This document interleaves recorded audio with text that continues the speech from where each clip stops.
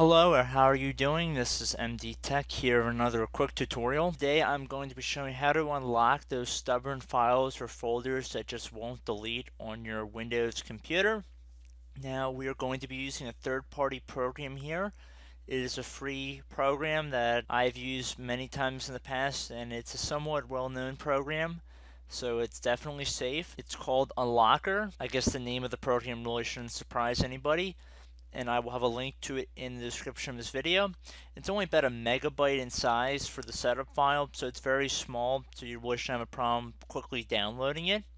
So we're going to walk through installing this and ultimately opening up this stubborn folder that will not open up.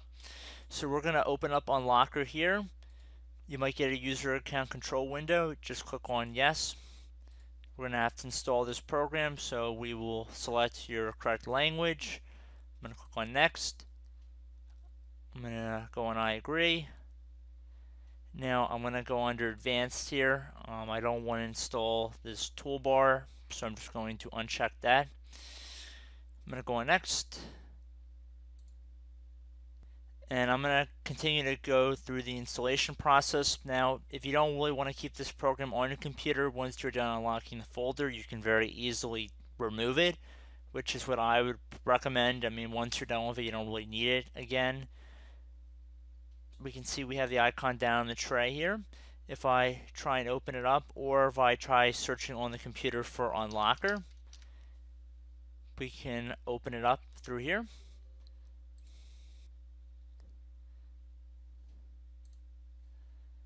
So now we would browse the computer for exactly where we are looking for this file or folder.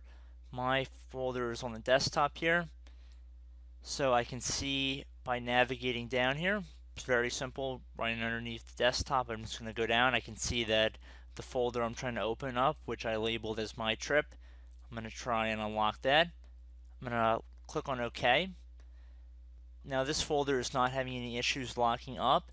However, if there were any issues that were preventing this folder or, or file, depending on what you selected to open up, there would be an option to remove any locking handles. Now, regardless, we can see you can choose the action you want to perform on this object.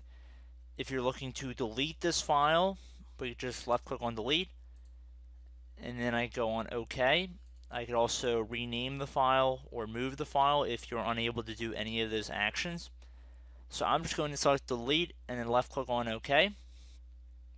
So even though there were not any locking handles or in other terms anything preventing it from opening up, we were still able to delete this folder through this program and most problems that are related to this should work using this program. It's very easy to use. So I hope this tutorial helped you out and I will see you in the next video.